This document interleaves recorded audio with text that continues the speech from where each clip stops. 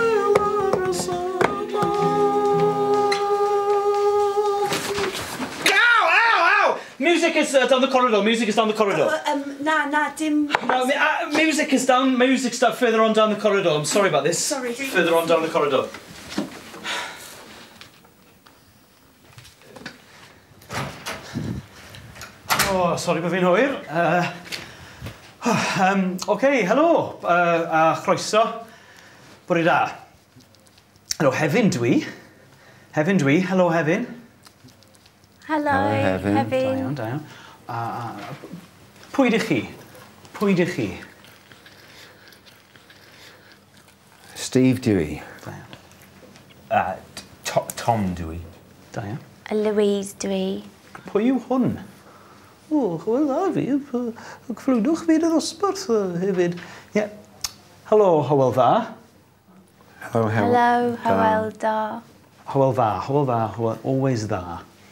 Um, right, uh, hwyl dda. Yellow. Oh, yeah. So do, do try to pay particular attention to this part of the course. Very important. It's going to come up in uh, in uh, in everyday conversation because he's Nikon, not not just my words, the words of the Western Mail. Got some. Okay, barod nawr. Um, geirfa vocabulary.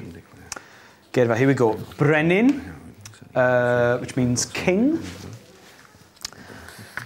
Cyfraith, which means law. to Haybarth. Um, southwesterly king, part of his kingdom, um, uh, but we'll discuss that in, in, in more detail uh, later. It's going to come up again. It's going to crop up again. Um, unrhyw gwestiynau, any questions? About, about Fa? Yeah. dyma ni'r dosbarth Gymraeg. Sorry I'm late. Oh. Beth yw hwn?